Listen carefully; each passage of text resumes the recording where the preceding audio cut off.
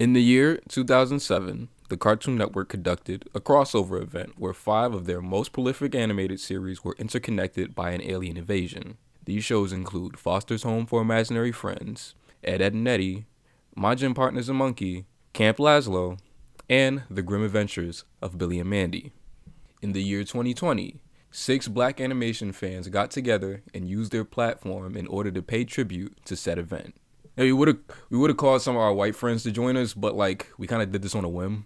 The first of these six content creators is a man, a simple man, a man with the table that's round. Submitted for your approval. Cartoon Network invaded.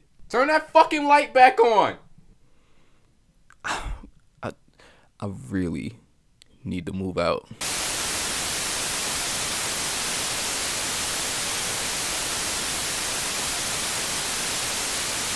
Unidentified shadowy figures are recorded inside the Cartoon Network complex. The outline of their cranial structures does not seem to be human in shape. So I'm gonna let everyone in on a little secret. You know how for years you'll have people on the internet claim, oh my god, television used to be so much better when I was a kid in particular. And how out of most of these networks to face the wrath, Cartoon Network has definitely been one of the top channels to face this scrutiny. Well, there's a reason for that, and it's beyond nostalgia or newer cartoons not looking as appealing as the ones we had growing up, or whatever the case may be. Cartoon Network becoming heavily criticized on the internet for no longer being the underdog, no longer being the greatest place for cartoons. But this factor that really changed the way people looked at Cartoon Network was absolutely 100% its branding, and how over the years it would be watered down more and more until it became something uh, simplistic. While promotional material featuring cartoon characters interacting with one another was nothing new, there's no denying that Cartoon Network always went the extra mile. This was felt with Cartoon Cartoon Fridays, and later on just Fridays, but more so than ever. This was felt with the advent of CN City. I know we like to throw around the word iconic nowadays on the internet, but truly, CN City was iconic. Utilizing so many techniques to have the characters of Cartoon Network all live under the same roof, or, well, uh, city. And it wasn't even just the bumpers, the website was in on it too. I remember logging on to CartoonNetwork.com, and if it was in the day, the images of CN City on the website would be that of daytime. When it was evening, around 5 to 8 p.m., it would be a sunset. And if you went on any time past that, it would be nighttime. This little touch did so much for immersing the average viewer of Cartoon Network because it really played into the idea that this was a real city, that these characters really are alive. But unfortunately, the branding was undone by the root of all evil money. It was expensive keeping Animal Logic around and having them crank out all these bumpers. And I'm sure bringing in all these voice actors from different shows, having them record lines just for the bumpers, so I understand the position Cartoon Network was in. Why they would have to downgrade. I don't think anyone is denying that. This was Cartoon Network branding at its fullest. But of course it's going to leave a bad taste in people's mouths when, in the following year, the only shows they're really promoting are Chowder and Flapjack, the previous running animated series are pretty much over, and CN City was no longer going, now we have the Noods! Which, I get the gimmick, but come on. A lot of these were the same poses, the characters, they still technically interacted, but it didn't feel like them, they weren't voiced by any stretch of the imagination. We had like the same two or three tracks. Yeah, they still went in for the holiday season, but the magic was gone. And as a viewer, if you see not only all of these beloved shows gone, but the packaging you know and love gone, and with CN Real on the horizon, of course you're going to lose faith in Cartoon Network. Of course you're going to think it's not as good as it was. That transitional period from CN City into CN Real and then after CN Real into the Adventure Time regular show era, it was fucking rough. And for a lot of people, I'm sure they would have appreciated closure on CN City. I don't know how you pull that off. I don't know how you can just close out an era of Cartoon Network and branding, but it probably would have meant a lot to the viewers. Luckily, Cartoon Network gave us just that kinda. A multi-show crossover on a scale never before seen. One that, in hindsight, did close out these era of cartoons, even if they didn't really wrap up with these episodes. Cartoon Network's last hurrah in this total immersion where we're following in the characters in a world that feels alive.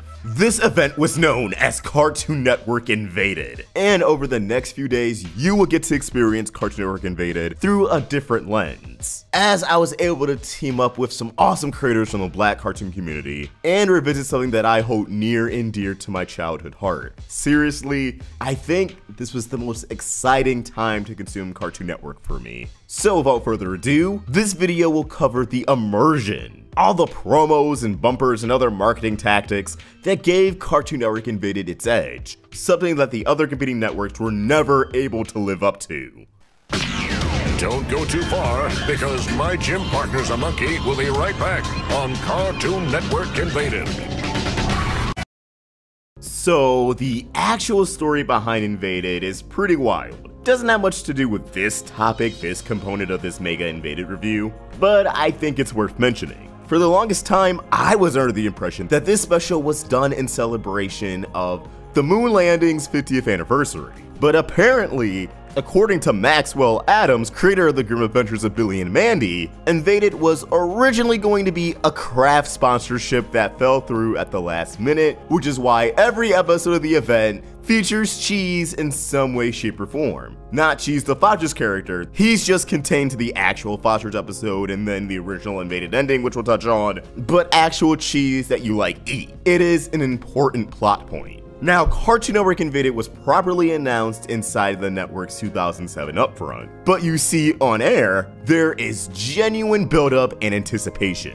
Now, I'm going to be honest with you. This was 2007, over 13 years ago. And unfortunately, not every piece of invaded content has been preserved on the internet. So although I've been rattling my brain, I, for the life of me, cannot tell you the initial, very first teaser for this event. But I will say, in either March or April of 2007, again, it was a slow burn, they really built up to this, Cartoon Network began airing very cryptic promos insinuating that aliens were messing with their shit, giving the viewer this uneasy feeling. You're watching your cartoons, but what exactly is going to happen to those cartoons? What is happening to the network? Now, because Cartoon Network has always maintained a level of self-awareness, just like the shows, the network itself knew to not take itself too seriously. So, after being cryptic for a little bit, the network decided to give us just a little taste of our guest. Although the threat of an alien invasion is real, it appears to be not quite so menacing as originally thought. Take a look at the latest surveillance footage. Let's get back out there and do some righteous invading. What's the problems? Door jam. Again? Let me try. I can do it. Move over, Major Muscle! I can do it. We really should commend the network's ability to crack jokes while still creeping the audience the fuck out. And with this promo, I also gotta give my shouts to the narrator of this entire event. His narration is consistent within all the promos, all the recaps, you name it. This was the voice of Cartoon Network Invaded. And having this man announce and narrate everything as if he was a radio host from back in the day was genius.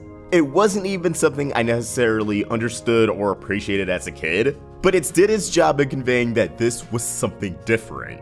And by blacking out the aliens, it created this intrigue. What do they look like? Where did they come from? What is their mission? And why is 9-year-old Kevin terrified? Because the way they're animated, reducing these designs to a silhouette is very unsettling. No exaggeration, I'm pretty sure I had a nightmare over it. And as we got closer to this invasion, Cartoon Network gave us a pretty up close and personal look at the invaders. Finally, after all this build up and mystery, we get to see exactly who they are. Can't be as horrifying as whatever's conjured up in my head. Starting. Ah! Christ, what the fuck? Why is it green? What the what? Is that Stewie? For reference, it's not like we really had trailer track or anything to figure out when these promos would drop, So although I was just dying to know the scoop, my moment of satisfaction was more so a moment of surprise. I was completely thrown off guard on the commercial break. But with this promo, we got a proper idea of who was involved in Invaded, and let me tell you, getting the rundown was one of the most stressful moments of my life. At that point in time, I loved Ed, Edd and Eddy, so of course I wanted them there. But I also wanted to figure out which shows were going to make the cut. Who was worth being exploited for viewership? Starting with Foster's Home Uh-huh. Imaginary Friend. Yes! And Eddy, but Jim Uh-huh. A monkey. Can't Eh. go after that. Then the criminal. Yo! Now you would imagine the network using their inconsequential, anything goes episodic animated series for this event is just a no-brainer, and it really should have come as a surprise, but to me it did. In hindsight, yeah, these obviously were some of the biggest shows on Cartoon Network at the time. But when you're a kid, it made the concept of an invasion feel a lot more grounded. Because at this point, the schedule still had a pretty decent amount of variety, and I was still coming to terms with the concept of cancellation and syndication and reruns and all that. I really didn't know what to expect. Now, if memory serves, at least one of these aliens were voiced by Jason DeMarco. He's currently over at Adult Swim. He's the guy who runs Toonami, and honestly, is just an unspoken hero of the entertainment industry. Regardless of what anyone says, we would not be where we are with anime being so prominent in the United States without Jason DeMarco. I feel as if a lot of music and voices would have gone unheard. The dude's a visionary, could not give him enough credit. Don't go anywhere. Foster's Home for Imaginary Friends will be right back on Cartoon Network Invaded. So, as the start of Invaded approaches, and in my tiny brain, all of these shows are about to cross over and change forever, Cartoon Network decided to up the ante and ensure that no one could escape Invaded. Of course, I was on the internet just as much as a kid as I am now. And boy, was I glued to CartoonNetwork.com, Nick.com, DisneyChannel.com, you name it. Imagine my surprise when I start up Cartoon Network the week of May 4th, 2007, and I'm greeted with this. A splash screen that features chilling, yet aesthetically pleasing silhouetted art of Mac and Blue holding each other as the illuminating font lingers above their heads. Unexplainable. Do mysterious beings lurk in our very homes? Referencing the plot of Cheese a Go Go, where Blue is led to believe that Cheese is an alien. And yeah, this carried on week from week. If you went on CartoonNetwork.com before it took you to the actual site, you would be dealt with one of these bad boys. Mysterious. What strange creatures are taking over the cul-de-sac? Shocking. Watch as Adam comes face to face with something that's not human. Frightening. Panic erupts when bodies are snatched. Is anybody safe? Horrifying. Witness the unspeakable. Billy and Mandy encounter the space invaders. And I love how these are almost identical to old school horror movie posters. They also had flash games every week, which apparently no one wanted to archive. O- okay. This coupled with the packaging of the general network really drove the point home that this channel for all intents and purposes was really invaded. Even the Friday night block got affected. There's this weird in-between block of Cartoon Network Fridays and uh, Friday Dynamite just called uh, Friday Night Premiere Thunder. It had a giant monster truck type vibe. It, it was they tried, okay? But during Invaded, it transformed into Friday Night Premiere Laser. They weren't just gonna have the block share a night with Invaded. No, no, no, no. Invaded would infect that block. But what about the actual packaging for the event itself? Well, during Invaded, the show's featured did not have their typical theme songs, but instead, a special opening sequence that features a UFO flying above a Cartoon Network city. Hmm. And more or less broadcasting the credits as it flickers through clips from throughout the episode. And that theme? Mmm, it slaps. Also really dug how they call these chapters. Not only did they put in the work to immerse their audience for the first time since CN City, but they really trusted the audience, which only added more to the immersion. They even referred to it as a miniseries. Tell me, what self-proclaimed miniseries did Nickelodeon and Disney Channel have? I'm sure someone's gonna bust one out and make me look like a fucking idiot, but I'm pretty sure Cartoon Network were the first ones to look at their young audience and say, yeah, you guys know what we're getting at. Let's not dance around anything. Now, the most impressive part to me wasn't the Invaded will be right back or next time on Invaded, but the fact that the packaging transcended the premiere. Typically, during events, even long going events, networks will only air it for its premiere and maybe an encore. But Invaded kept its packaging the entire time. When any of these episodes were reran during May, they had the Invaded packaging. I'll never forget, fourth grade. Had to transfer schools because I was dealing with some, uh, you know, racism. And the school I got transferred to actually had cable. So one day in after school latchkey, we decided to put on Cartoon Network and guess what comes on? One of the episodes from Cartoon Network Invaded. And to my surprise, it aired with the complete packaging. The Be Right Back, the Now Continues, it was all there, alongside other generic bumpers that the network created for this event. Again, it kept this momentum and illusion going that the network was really in danger. These characters were really in trouble and the atmosphere for Invaded really made up for the actual contents of the episode, considering they never really actually crossed over, except for the original ending that I missed the first time around. and then had to catch a rerun, and the original ending never aired. I didn't see it again until years and years later online, let me tell ya.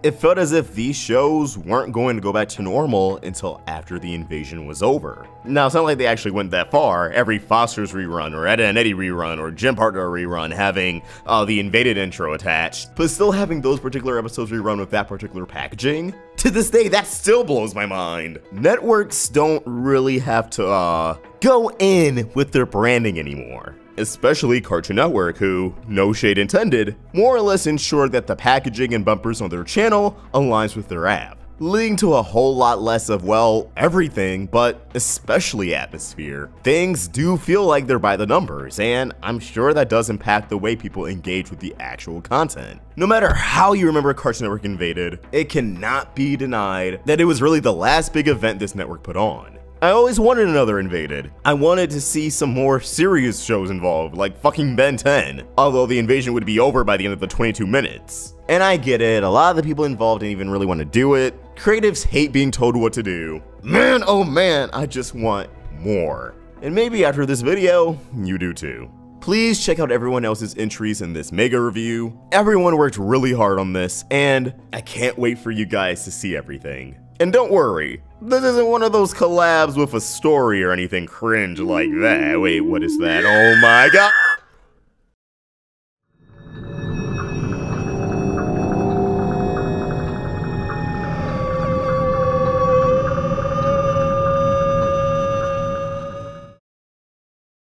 Our first story is told by a very knowledgeable semi aquatic egg laying mammal of action.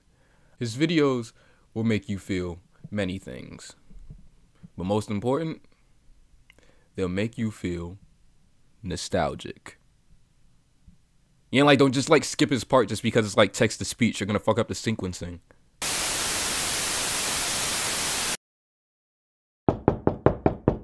Letter for Mr. Nostalgia. Oh hey, thanks James. No problem. Hey, you look a little different bro. Did you get a new haircut? No. I'm wearing a new hoodie. That can't be it. Alright Stalgia, I'll talk to you later.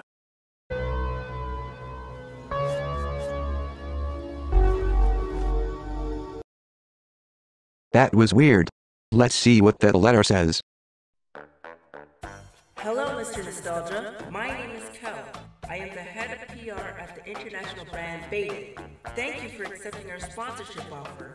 We're working on a new project called Invaded, a campaign that brings a collaboration between high-profile reviewers for one big video. This package we are sending you includes your segment to review, which will be Foster's Home for Imaginary Friends. Your review should be comedic and showcase clips from the segment. We will also be sending a package to the five other collaborators your video will be put together with. Can't wait to see your product. Kel. High profile reviewer huh? Well, that wouldn't be the term I'd use to describe me but it's all good. Let's see what I can come up with.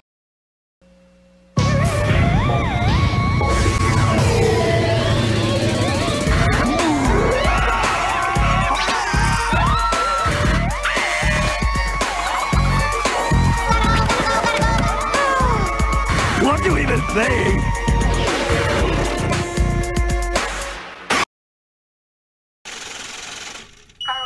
Episode begins with Frankie at the post office, talking to her grandmother on the phone.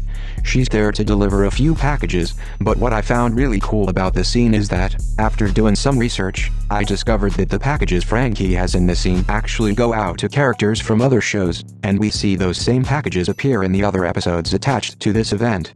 For example, the green one at the top goes out to Clam from Camp Lazlo, the purple one underneath the scene in Adam's locker from my gym partners a monkey, the big blue one appears in Billy and Mandy, and the purple one at the bottom goes out to Jimmy in the Ed, Edd and Eddy episode. These were incredibly small details that I would have never noticed if it wasn't for the internet, but the fact that they did this knowing that 99% of the kids watching this would probably not realize the connection, brings a smile to my face. It's small things like this that make this event so special, and my people remember it after all these years. Anyway, while Frankie is at the post office, she notices that Cheese, the annoying imaginary friend that everyone dislikes, is there as well. He keeps repeating this phrase,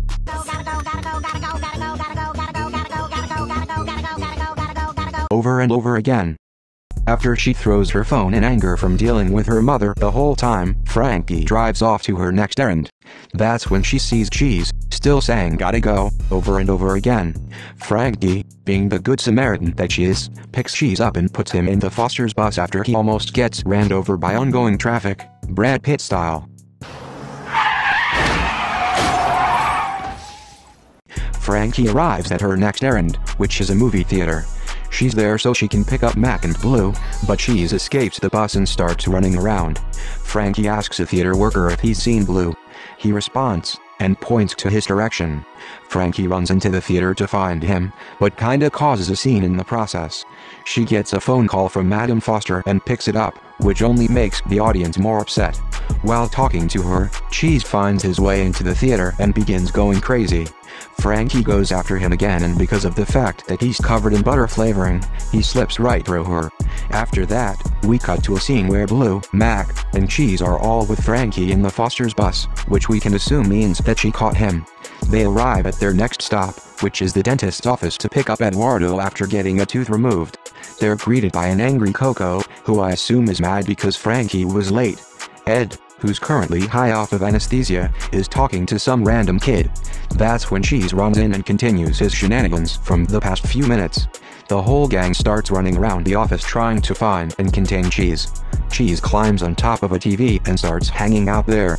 The gang kind of use this time to take a break and figure out their next move. Blue picks up a magazine and begins reading it. After a few seconds, he sees an article about space aliens invading Earth, and guess who they look exactly like? Cheese.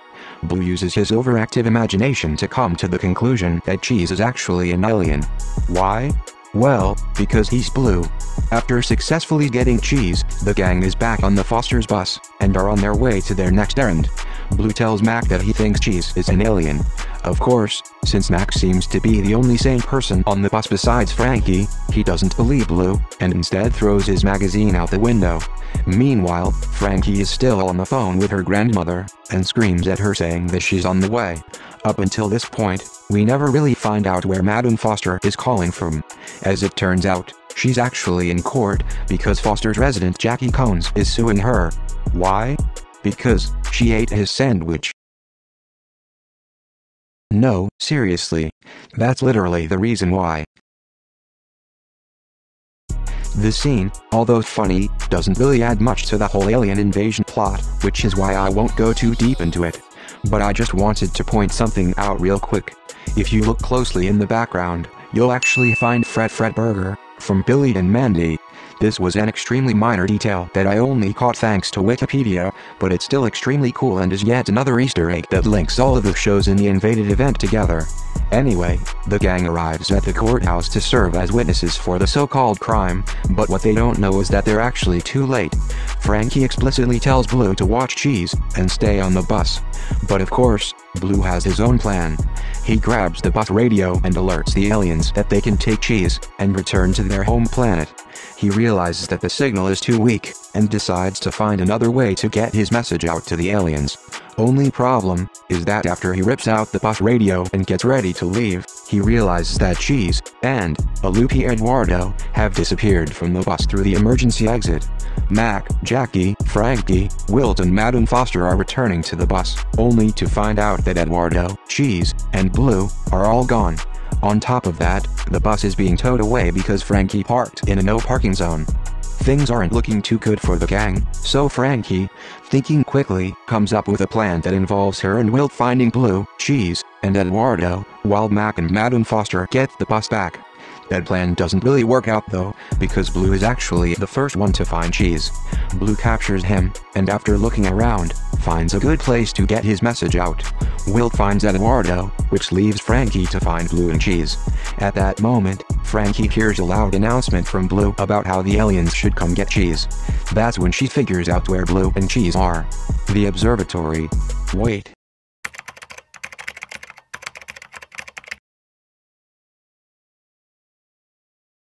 Oh, so that's what an observatory is. She enters the observatory and finds that Blue has tied up two scientists, taken over the controls, made sure Cheese can't run off, and is broadcasting over the city with the bus radio. Angrily, she grabs Cheese and the radio and sets off to take Cheese home. Frankie drops off Cheese at his creator Louise's house. She's tired, beaten up, and appears to have some sort of large rat on the back of her jacket. After Cheese runs off into the house, Frankie asks Louise the only thing she wanted to know the entire episode. Where does Cheese have to go? To which she responds with, I don't know. Sometimes he just likes to go. But oh well, if you gotta go, then you gotta go. Cheese escapes the apartment, but Frankie is too tired to chase him again. Her phone rings, and she answers to find her grandmother has gotten into another predicament. Turns out, everyone got arrested. I mean, even Wilt and Mac got arrested, and they didn't do anything wrong. Frankie promises to pick them up in the morning, and continues to walk down the stairs of Louise's apartment. Back at the observatory, a signal comes in from outer space that, when deciphered, is a repeated chant of cheese. It seems as if Blue's plan to contact the aliens actually did work in the end. Because now, the aliens are coming. And they want their cheese. And that, ladies and gentlemen, is how the episode ends. Overall, I think this is a really solid episode.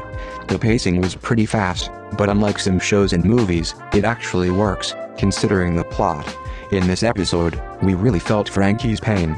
And, after rewatching this for the review, it really made me appreciate how great of a character Frankie is. Remember, Cheese wasn't a member of the house.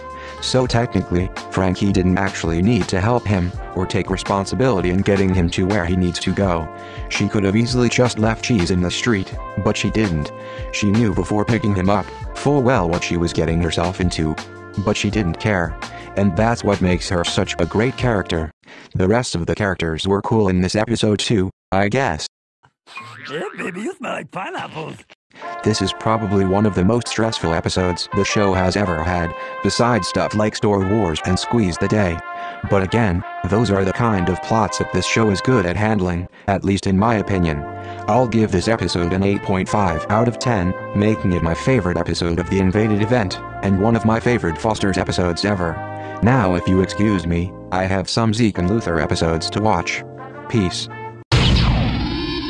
Whoa, what the heck is that? Is anyone there? Hello? What's going on?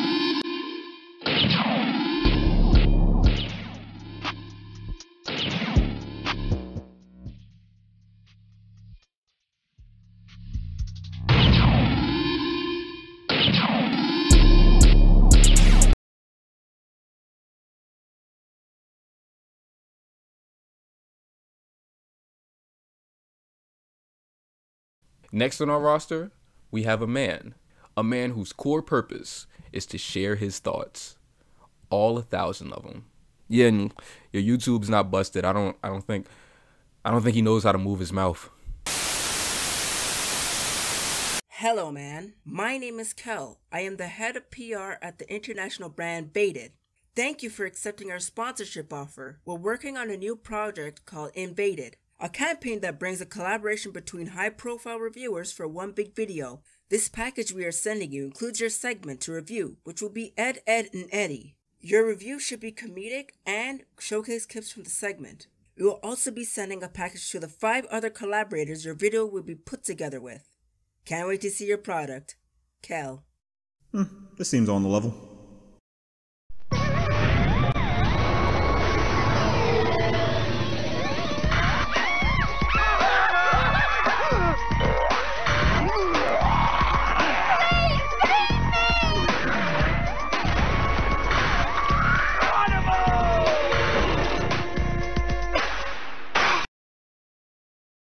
Well, now that my mysterious sponsor has sent me the special, I can finally tackle this one. Though I'm a, little worried I haven't heard from Vox and Mr. Nostalgia since they did their parts. I'm uh, hoping this isn't too much of a trend. But to continue on with things, let's look more into Cartoon Network's Invaded event. Now, one of the most prominent episodes I remember from this event was the Ed, Edd and Eddy episode. Now, something to keep in mind was that the creators of these shows didn't want to do these events at all, so you notice very jarring dips in quality among them. But the odd thing is, Ed, Edd and Eddy still held their quality. They didn't falter at all, which is kinda admirable pushing out a pretty funny product even against your best wishes. I mean, considering these Invader episodes took up a whole episode of the season order, it's just fascinating that they put genuine effort into this. It's even weirder with the fact that Danny Antonucci is notorious for being against the industry, but treated this like it was a normal episode. You gotta give props to the man though. He didn't have to, but he did anyway. I pay my respects. Fuck America. Now, this episode starts so different from other Ed and Eddy episodes, with Jimmy of all people frolicking through a land of gumdrops and berries and cream. Berries and cream, berries and cream, all the little animals, berries and cream. I don't know why I showed you that either, but moving on. The dream sequence is pretty nuts, mainly for this one instance where the Eds are bent over some giant clown toy thing that keeps spanking them. Now, I've said this before, and I'll say it again I don't kink shame. The dream goes by fine, but then it just turns into a total nightmare when a giant pizza cutter comes from the sky and starts slicing a big circle into the cul-de-sac and just taking it. It's done in a manner that's so menacing, especially with the use of color and these dark tones. Even having Jimmy fall from the sky as he watches Sarah get taken away. You just think, Jesus, it's just a dream, but like I said, they put the effort in. The rest of the episode is just really about some strange goings on with Rolf's house since his house keeps spewing this weird alien aura from it. Some come in contact with the house like Johnny who we get introduced to him digging out of a garbage can. Like, come on, man. You had him dressed like a monkey, you had him put a watermelon on his head, and now this? Y'all just can't let a black man prosper, huh? But anywho, Johnny starts babbling about the strange stuff happening with Jimmy, backing him up with his dream as evidence. As first, people are skeptical about the whole thing, but immediately change up when they see a meteor fly out of Rolf's house. Now, you'd expect them to just have Double D be the complete skeptic of it all, but he gets on board pretty fast the second he sees Ed come out of this meteor, which. Okay. This episode manages to pace itself pretty well, so you follow along perfectly. No one overtakes anything, no gag runs too long. It's just very consistent in timing. Everything kind of goes the way you'd expect with Ed saying some weird things going on inside the house. Granted, it's pretty nonsensical, and for some reason he's in his underwear. I mean, that would raise some red flags to me too. Stranger danger is all I'm saying. The cul-de-sac gang mount an assault on Rolf's house and everything just goes wrong in the most hilarious ways possible. Everyone just proves that they'd be useless in an alien apocalypse. My favorite joke out of all of it was the gutterball one. Go back from whence you came, aliens from the unknown!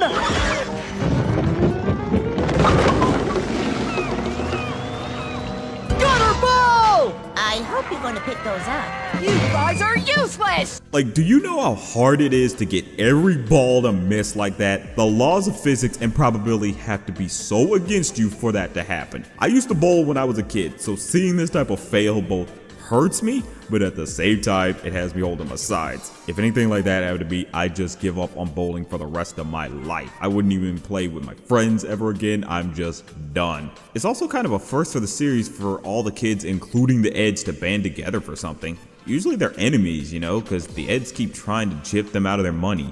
It's nice that they went this route just for this special. They didn't have to, yet they did. Very nice touch. The episode then ends with everyone finally getting the answers to what's going on with Rolf's home. Turns out his family was visiting from his homeland and they just have very weird customs like putting squids on their heads. You know, one of the weirder things is that this low key had some xenophobic implications with the fact that Ed was completely freaked out by their ways. Keep in mind, this is the same dude that said shit like this. Butter toast! For no good reason and does shit like this. And yet, Rolf's family is too weird for him. Like, they implanted the fear of God into him, made him realize he was mortal type shit. I couldn't stop laughing this whole episode. From start to finish, this episode was just pure hilarity. But the episode doesn't just end there, for it turns out Jimmy's dream wasn't just fantasy, for the aliens did take the cul-de-sac this is fantastic for the series because now it means the gang has been chosen by our alien overlords to achieve an enlightenment and evolve past our trivial forms. Our new lords have finally begun their calling and will transcend us destructive humans to new levels of greatness. Yes, take us, O great and powerful ones. Lead us to a new beginning that will reunite us with our prehistoric brethren you took millions of years ago. I am ready. I am ready.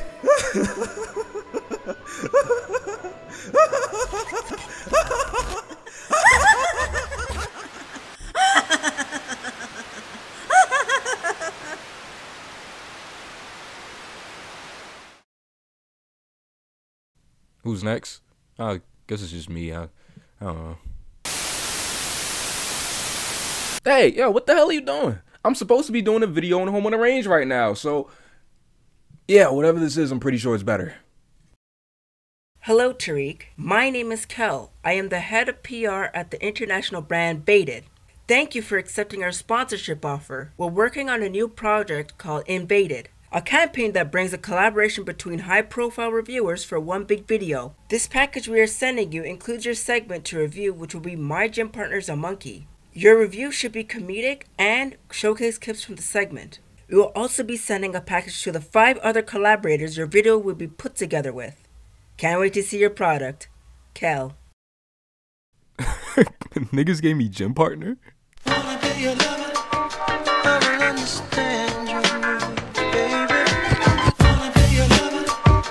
Cartoon Network used to do a lot of cool shit, son.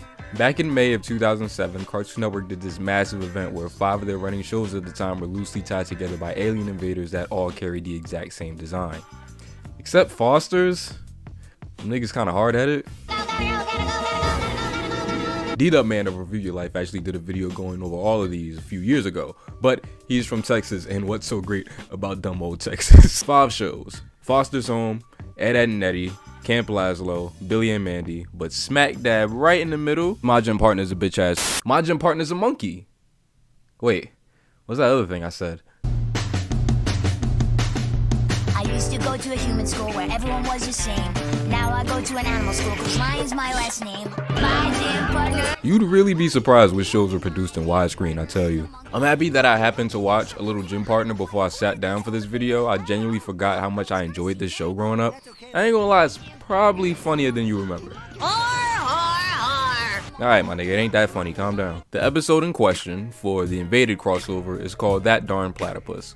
After the aliens invade the Eds, the gym partner hood gets hit with a power outage, but they still make the kids go to school for some reason. I, I don't know, man. If they could throw a nigga in an all animal school just because his last name's Lyon, they can make you crack the books open during the blackout. Do, do, do. There's a new student, a platypus named Rick, voiced by Gilbert Gottfried, doing the most Gilbert Gottfried, Gilbert Gottfried voice I've ever heard in my life. You know that man, respect that man. Is it me or just my pretty face? So everyone thinks he's an alien off rip, everyone except Adam, and it kind of frames itself as one of those don't judge a book by its cover stories. But like, the audience already knows they're right, so we're just waiting for Adam's goofy ass to figure it out. He just kind of thinks he's joking the whole time. You might want to tone down the shtick, Rick. I was, what? What'd you say? You said Slick Rick? No.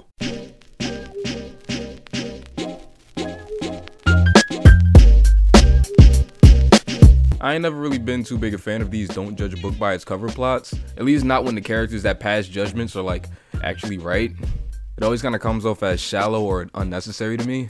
Like, I'm not expecting poetry from my gym partner's a fucking monkey or anything. But these kind of story turns always make me feel a little uncomfortable. After all, I mean, look at me. I'm way different than anyone else who does videos like this. I get judged all the time. You know what it feels like to be judged simply because of how you look? Of course I do. I'm part robot. Yeah, he gets it. The story does lead us to this joke though, which honestly cracks my shit up every time I hear it. It isn't fair to accuse someone of being a space alien just because they're odd. You know, I think Adam has a point. I mean, I have a crush on a human and tend to speak without thinking. Yes, Ingrid is right about herself. I mean, yeah. The whole rest of the episode is Rick hamming up the whole alien thing and Adam telling him that the joke is getting old and for him to chill out. Some stuff goes on in the middle, but not really. Jake and the guys go to these Star Trek ass niggas for help to stop the alien. They do an anus joke. Except for the planet that must not be named. You mean Jupiter? No, I think he means your aim. Principal Pixie Frog and his assistant try to see if Rick is in the database, which would prove that he is an alien. They don't find anything, so yeah, they think this nigga's an alien. Shorty wants to take a picture of the alien to get rich. Pixie Frog tries to hop in on that action, but like, she tells him to back off or else she'll leak his nudes. In the end, Adam gets fed the fuck up and tells Rick to stop bullshitting. And Rick says, okay.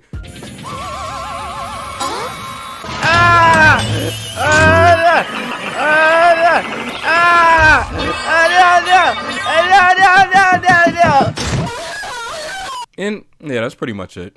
Do a little digging and you'll be quick to find out that this wasn't an idea that any of these showrunners had. All five of these are completely different cartoons. I'm not gonna say that they didn't want to do it, but nah, my nigga, they didn't want to do this shit. You can't really feel it in the Fosters or the Ed, Ed and Eddy episode, but it kind of starts to trickle in here. I don't think this is a bad episode at all. It definitely uses what they had to great lengths. They do this joke, which would blow any 10 year old's mind in 2007 like it did mine. Where'd you read that? A respected scientific journal. I like that Adam is open with the new kid. It's a dynamic that works for him because he had to adjust to life at the animal school too. He's constantly telling people not to judge Rick, like they judged him throughout the course of the series for being a human. That's something really interesting that works thematically. The episode's biggest crime is that there's no meat to it.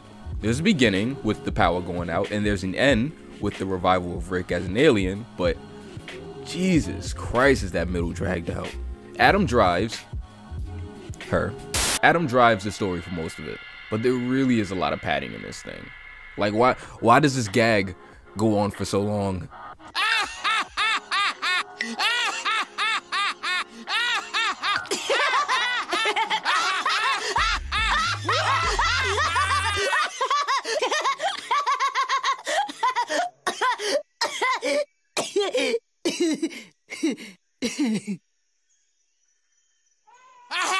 I haven't rewatched the rest of the entire series yet, but I can tell that Gym Partner works at its best when it gets in, tells its story, its jokes, and gets out in that 11 minute format. I mean, you saw how fast I explained that episode plot. Imagine that going on for 30, 30 minutes. minutes. minutes. It treads the same ground over and over and over again. Rick, relax. You're scaring everybody with this alien shit. You're not funny. I love comedy. You want some brain juice? So what the fuck did I just say? Brain juice, bro. We get it. I can't say I blame them wholeheartedly. I mean, Camp Lazlo ended up doing two 11 minute episodes for this. And I could see them not even wanting to think about the headache of doing something like that. But in comparison to what the other shows were doing before it, this is definitely on the hollow end. They resort to a lot of red herrings, a lot of screwy audience jokes that end up making it a pretty fun watch. Just wish there was a little bit more going on, I guess. Rick, you in here?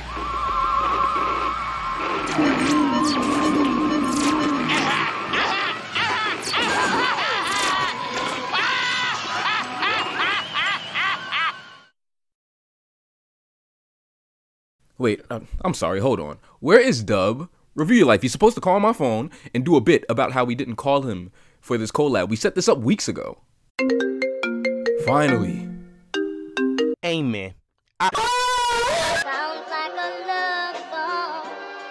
Like a love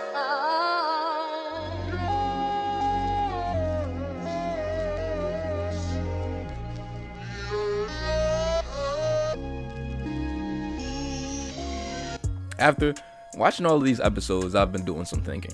No, not thinking on the lines of my crack theory about how Upgrade You by Beyonce and Every Girl in the World by Young Money have the exact same beat. Go on, go check.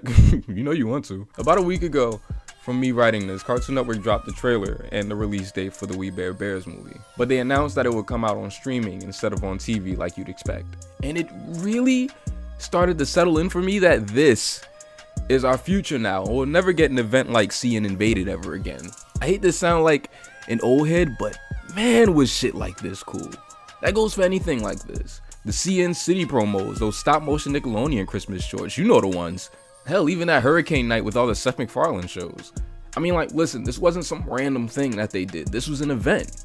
CN Invaded is a personification of the creativity that networks had in the mid 2000s. Custom promos, references in each episode, changing the entire aesthetic of the network. It's not even like it's not plausible to put this kind of effort in anymore. Don't nobody watch TV? Fam, there was a point in time where if a network show got 2 million views in ratings, it meant cancellation. My nigga, The Simpsons doesn't even get that anymore. It's it's kind of a bummer. Creativity ain't dead, not in the slightest. There's mad benefits to streaming and the art of binging has led to like some really really cool things done with storytelling in the past few years. But shit like this, I'd be lying if I said that this didn't change my life for the better.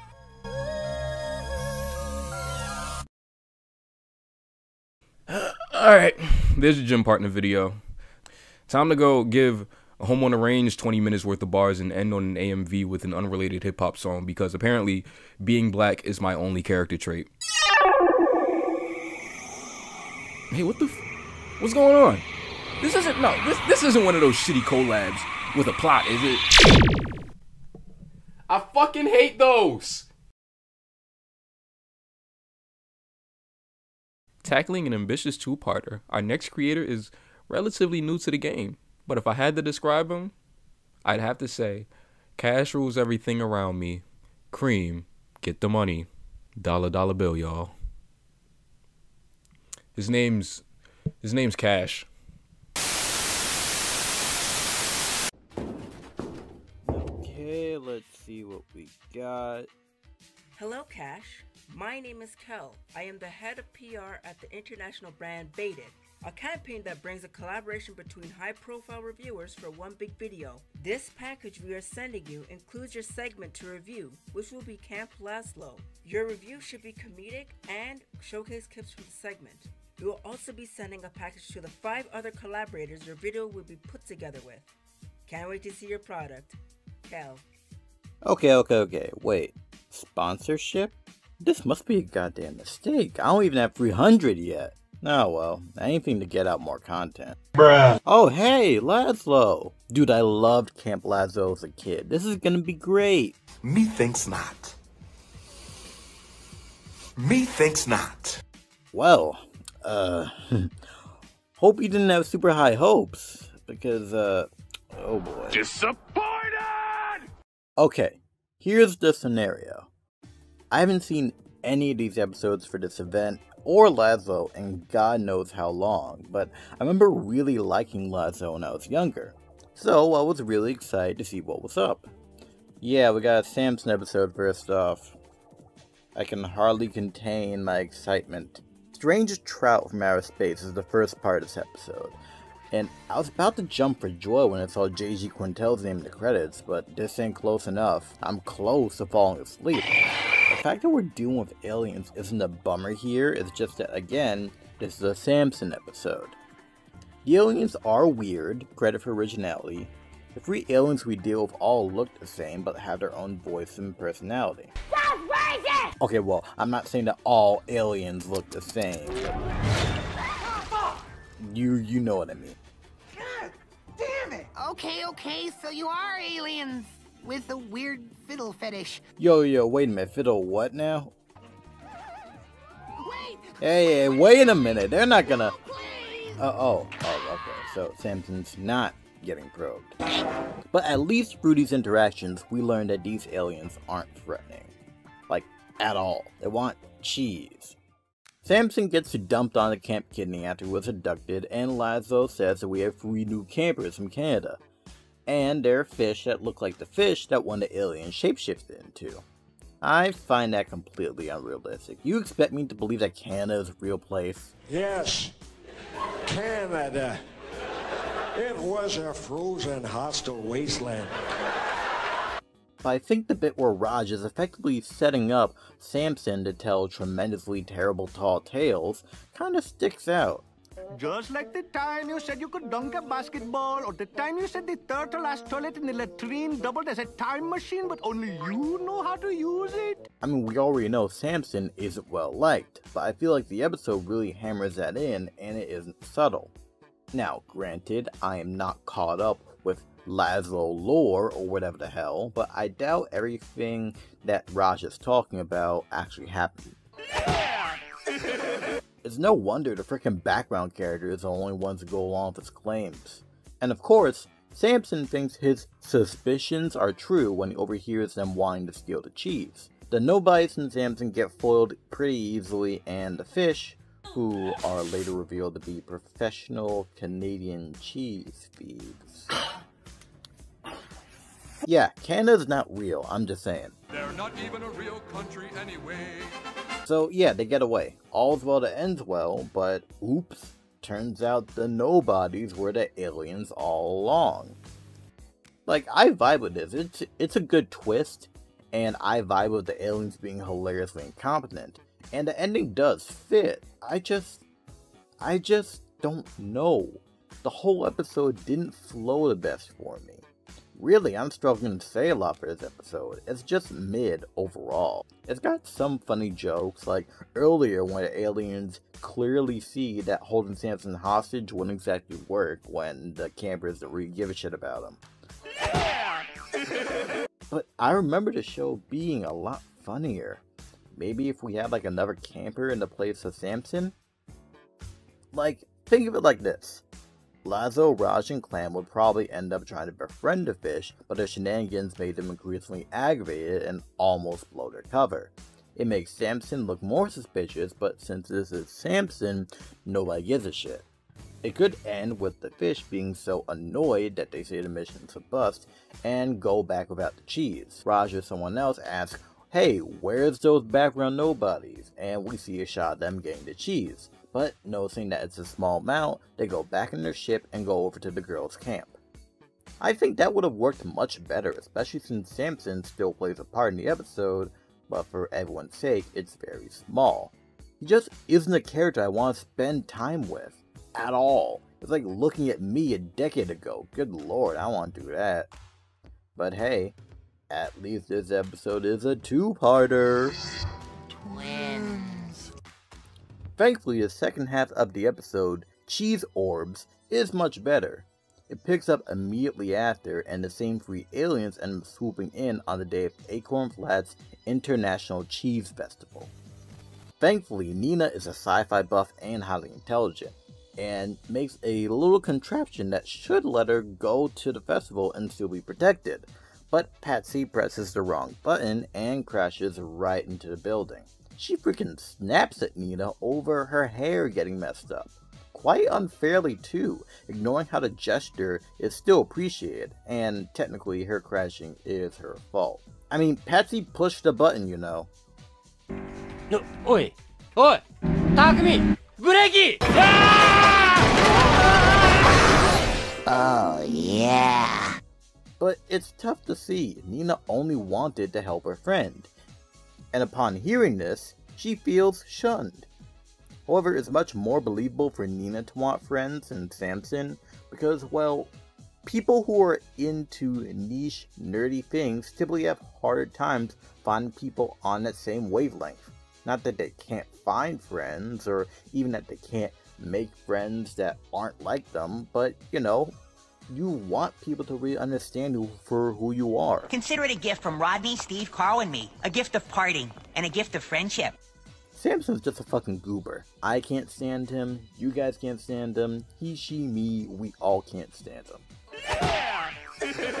Aliens take refuge in their science shack for the day, secluded from the rest of the area, and they think it'll make more sense to wait with Nina until the festival. Nina is overjoyed with real aliens being around her, but the aliens are far less enthusiastic. Either way, despite Nina overindulging into her interests, it's far easier to stick with her as a protagonist because she's inherently more likable. Patsy and Gretchen come to their senses and want to patch things up, but Nina wants to stay with the aliens. I think this is important because it paints both of them in a better light than Samson, who didn't even apologize after he found out he was kinda right to be suspicious. It's realistic too in a way. Friends argue and can't always mend things simply, but making that first step to try to fix things shows character. It's much better afterwards. I especially like when Patsy and Gretchen find other impossible science fiction anomalies for her to fawn over, and Nina simply does not care. Nina being super oblivious to these aliens and how they obviously are not here to be friends is funny too. That goes without saying. But I guess my issue with this episode is that it just ends. Nina, Patsy, and Gretchen make out thanks to this elaborate plan by Gretchen to trigger Patsy's allergies by stuffing her face with cheese. The disguise that Patsy and Gretchen make fails eventually, and everyone finds out that there's no cheese, so the aliens express their frustration, ditch their disguises that Nina gave them, and go back to their spaceship. Everyone screams in terror, and that's that. I'm kind of feeling cheated, because everything else, while not fantastic by any means, was a complete 180 in terms of the, well, stinker. That was the first episode. Overall, there are definitely multiple good aspects to both of these episodes, especially cheese orbs, but I wouldn't go out my way to watch these. I can't say whether or not the show's quality as a whole is representative of this, but it is what it is, as we say around these parts. Maybe one day I'll look back on the show as a whole, but I'm definitely gonna hold off for now. Now, I'm freaking tired, and I just want to do what I do best. Listen to some ska, baby! Yeah, it's obvious if you see my complaint video, but hey, I love this music. And all this alien talk made me want to blast this. It's a bop. Plus, I mean, female aliens are real cute. Put me in Steven's place when he met all those rose quartzes if you catch my drift. hey, don't look at me like that. Man can dream. Wait a minute. What's that light? I wasn't expecting dreams come true that fast. Hey, hey, hey, I wasn't expecting this either. Get this thing off of me. Huh? Oh yeah, I'm, I'm, I'm tired of doing these. D'Angelo's part's next.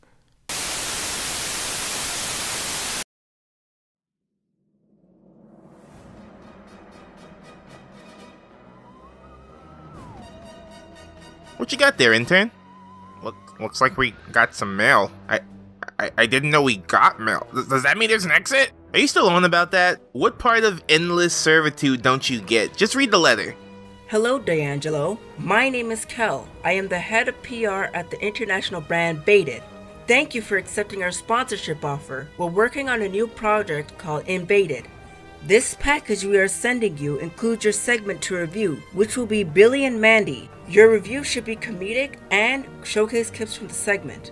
We will also be sending a package to the five other collaborators your video will be put together with. Can't wait to see your product. Kel. You know, your voices have gotten a lot better. Yeah, well, I've had time to practice. So much time. A sponsorship, huh? Normally, I'd just trace this back and destroy who would ever try to give me orders, but I'm in the mood for something fun. Alright, let's do it. Also, does it look different in here to you? Nope.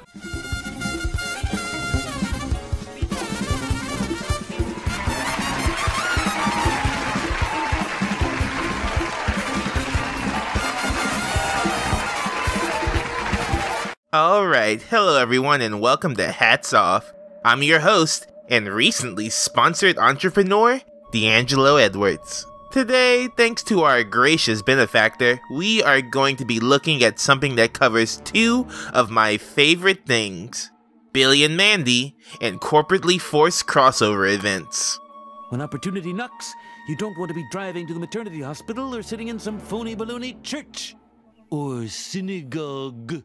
Seeing Invaded was one of the last big events that took Cartoon Network by storm. Back in the 2000s, where networks tried to be something more than just ads for their app, Cartoon Network launched an event where five different shows would come together in a miniseries, with the main link being an alien invading the different shows. Events like this are really what pushed the network into the number one spot for me. Especially this one, since it was so creepy and moody. Plus, who doesn't love a good abduction? This guy knows what I'm talking about. But today, I'm going to be looking at the finale of the Invaded series, ending with a Billy and Mandy special. Billy and Mandy, Moon to Moon. It starts off pretty normal, Billy picking his nose, Harold just living that life, but after being forced to go to bed, Billy sees a mysterious light and follows it to adventure, but only ends up finding Sperg, the local bully, punching corn, which is probably an innuendo, but it's over my head. They actually do end up getting abducted, you know, because of theming, and we get our first look at the aliens, which are the same ones that invaded the other shows. And boy, do they use CGI. It's a little jarring, and I don't really know why they used it either. The aliens aren't really that complex, and neither are the flying saucers, but maybe it was to give them an otherworldly feeling, I don't know. There's nothing worse than using CGI when it's clearly not in your budget. Whoa! Sorry folks, I've been uh, trying to find more talent for the show, and this guy seemed like a good fit, but I don't know, text 8008 to hats off if you want him to stay. But Billy and Sperg end up escaping and going back home, only to find that every dairy product has gone missing. And after watching Harold rearrange the inside of Gladys's mouth for some reason, Oh, oh, I'm sorry. I, I just realized I've been saying character names and relationships without really explaining the show. The aliens start the invasion showing off their ability to shoot cheese out of their armpits. Neat. The gang end up getting taken to the mothership, and we learn that the aliens require cheese to power their weapons. Or their ships. I don't know, something like that. And that they are periodically building and rebuilding the moon in order to change into werewolves to take over planets to steal cheese, to start the whole process over again. Look, this is Billy and Mandy. It doesn't make a lot of sense, but when does it ever? Though I do wish the aliens had a better motive. Like, I'd be fine if they just like destroying stuff.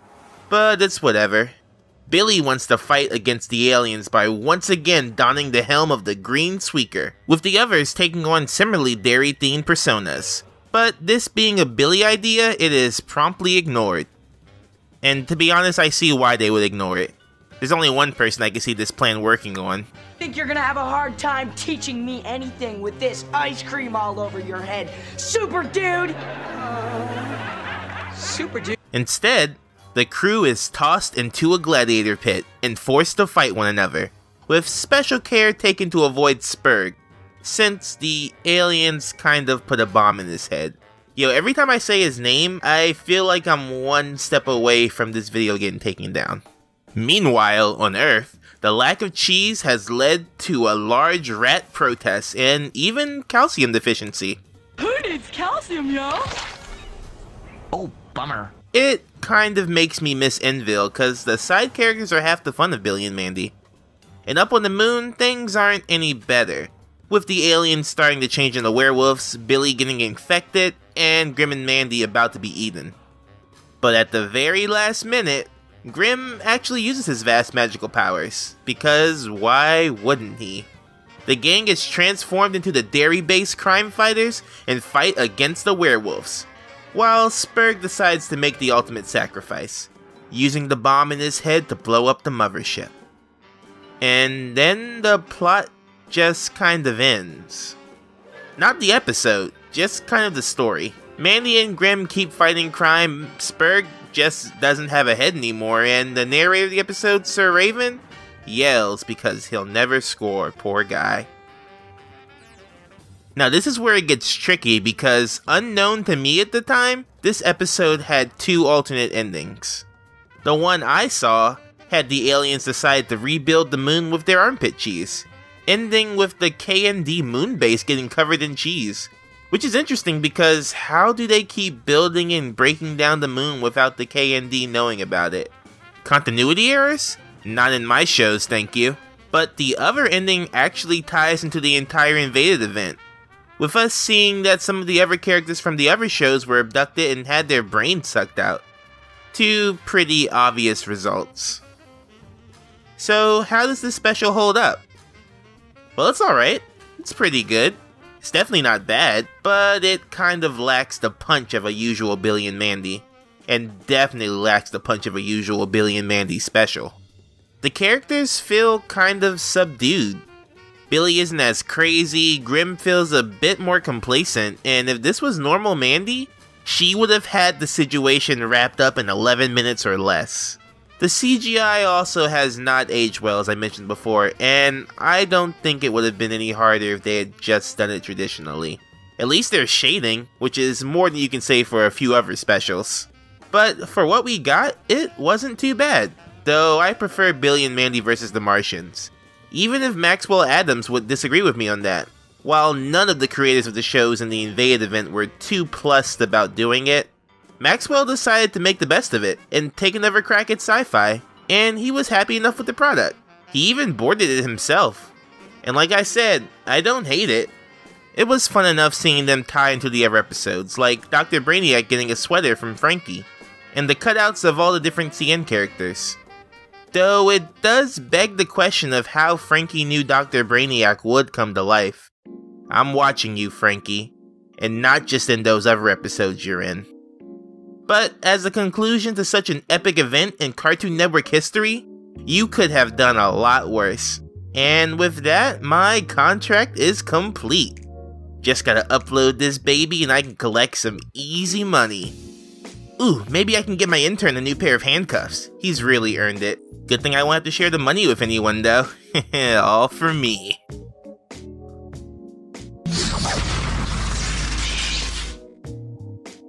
Oh, joy. And I think people thought my vocal delivery was flat before. Uh. Oh, yeah, what happened to that sponsorship? When am I getting paid? I'm the smallest channel here, therefore, I deserve the most cash. Cash is in my name. Yo, where was my invaded package? Niggas really think I'm too Hollywood because I screamed into a mic about Steven Universe for four years. Ugh, my head. Yo, you good? I saw your last video and you were freaking out so much that your mouth opened. I thought you were having a stroke or something. I probably was. Brain felt like I was getting jazzed on. What the fuck hacked my brain? Where the fuck are we? Why the fuck are we puppets? And why the fuck can't I say fuck? That's my bad, actually. I allowed killing, kidnapping, and general debauchery, but no swearing. Also, hi guys? Whoa. Where the heck am I? Last thing I remembered is getting ready to start an all-day Zeke and Luther marathon. There's a fucking duck in here. Good to see you too. Wait. Why am I a sock puppet? Seriously? This is what we're doing? That's messed up. This really a fucking sock puppet. Wait, I can't say nigga either? What type of backward ship are you running, D'Angelo? You know, you always seem more composed than this. I guess you shouldn't meet your heroes. Or you should meet me when I haven't had my brain sexed up and then turned into a dollar store muppet. A little hurtful, but okay. yeah, man, without microaggressions, no need to get racist. Seriously, D'Angelo, what's going on? Did you get tired of torturing your intern and decide to bring us into your weird fetishes? Okay, so I know this seems like a me thing to do, but I didn't do this. Oh, really? Then who exactly did? I don't know, but it just smells like Canada. Oh god, they're gonna come after me for making fun of Total Drama Rama. Wait, how does it smell like Canada? Canada doesn't even exist outside of Scott Pilgrim. Don't you dare say his name! Yo, this nigga Cash is like talking a lot. Anybody else notice this? I know it's your first collab, but yeah, relax, bro. We gonna do this again. Okay, you guys are coming up in my house and trying to start stuff. You know I'm me, right? Uh, You guys are here. I have the advantage. Bruh, you call this a house? Where is the roof? We don't do that here. well, now my collection's complete. Wait, who is that? I mean, it's not weird to hear Evo laughing around here. We like to have fun. You have problems. You all look so cute and small. You'll fit nicely in the clothing I have for you. I got a real bad feeling about this. I don't. I mean, hey, hey, hey. Look at all these cute clothes. Sorry, I don't have any clothing that you guys would like, but these dresses would look good on you. Oh, oh, oh, hell no. I dare you to come near me with that thing. I dare you. I'm sorry. Who who wrote this shit? I don't I don't talk like this. Oh man. I had a dream just like this. Except this time it's Carrie instead of Kenan Thompson. And none of you guys are wearing Buzz Lightyear costumes. Nuh-uh-uh. You all are invited to my tea party. That's why I kidnapped you. Uh, do you know how lonely it is out here in space? You all are my friends. Forever. Well, I'm a Muppet. I'm about to be put in a dress. I'm stuck in space.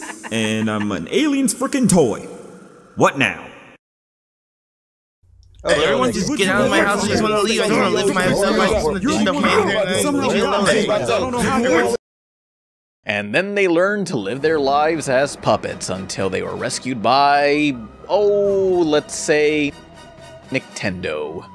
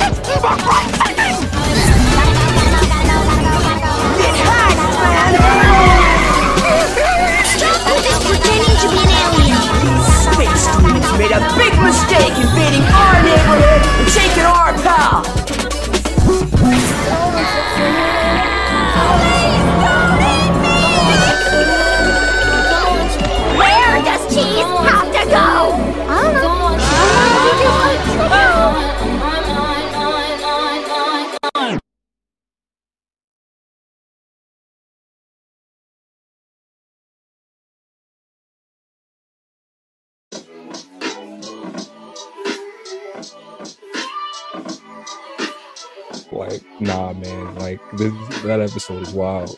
like, Yeah, is There's a lot going on.